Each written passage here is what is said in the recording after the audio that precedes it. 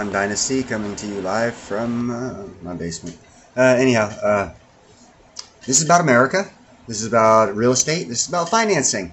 None of this is financial advice. and, and you shouldn't need to hear that because you could should easily come up with your own conclusions as soon as you hear this. Uh, don't don't buy any houses in Las Vegas area, Nevada, or Arizona. Once the water from Lake Mead gets down like 920 foot, water stops pumping to those places and it flows into California. Uh, you think I'm lying? I am not. Here we go.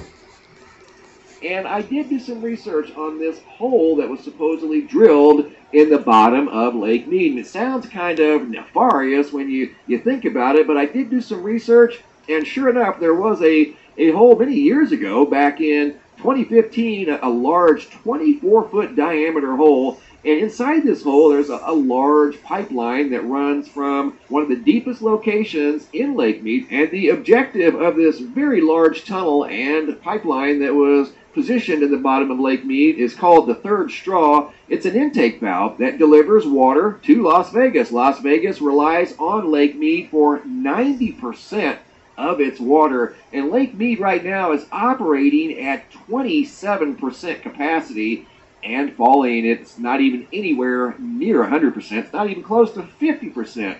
And we have millions of people depending on this body of water right here. And the water rights are as follows. If it gets down below 900, the power plant would no longer work and, and water rights would go into effect. From what I understand, even with the implementation of this new massive intake valve that's positioned at the deepest part of Lake Mead, and this project was finished back in 2015. So it's been a few years since there was indeed a hole drilled in the bottom of Lake Mead. But if this number gets down to 900, water rights would go into effect. Las Vegas, from what I understand, would lose water rights first, then Arizona, and the water would remain flowing. What's left in the Colorado River would continue to flow into California. So, all right, just a quick little update, some financial advice, and. Uh some uh, real estate advice.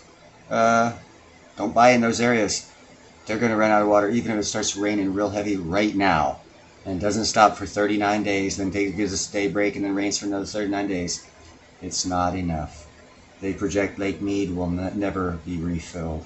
And with Las Vegas and Arizona growing in number of people, that just means they're pulling more and more water, which means the likelihood mathematically of it reaching the 900 foot level is more likely than it not.